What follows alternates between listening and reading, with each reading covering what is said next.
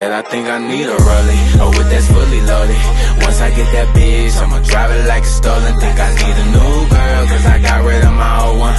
This is my world, yeah, y'all just living on the soul. Once I get that new whip, drive it like it's stolen. I don't wanna fuck with your homie, you ain't a real one. Think I need some new kicks, cause I never had nothing. My mama need a crib, so I'ma get it for it. What's up, guys? Today we're going paintballing, so today's gonna be a paintball video. We got all the stuff in the trunk, dressed warm. It's kind of cold out. It's not gonna get any warmer than it is right now, so yeah, we're gonna have a blast. We're about to go get something to eat, and then we're gonna meet up with the guys. We got like I think four people going for sure. Going. We might have two more if my brother's in. If my brother, my older brother ends up showing up.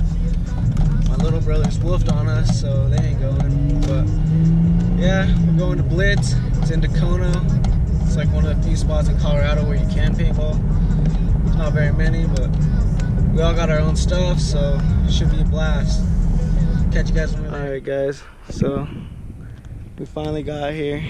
We're at Blitz. It's definitely cold. So just came to show you guys the setup.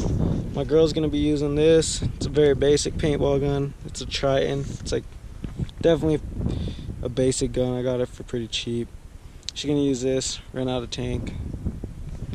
And then I got me a, mine's pretty basic too. I bought it from a guy. It's nothing fancy, but it's gonna get the job done. Let's see. It's a w, WGP autococker. Mm, so I gotta, I still gotta set it up and everything. So it's gonna be a while before you guys see it all the way up.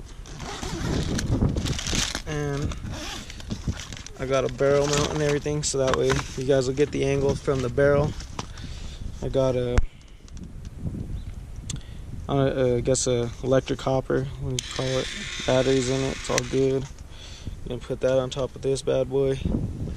And then I got me a DXS high pressure tank.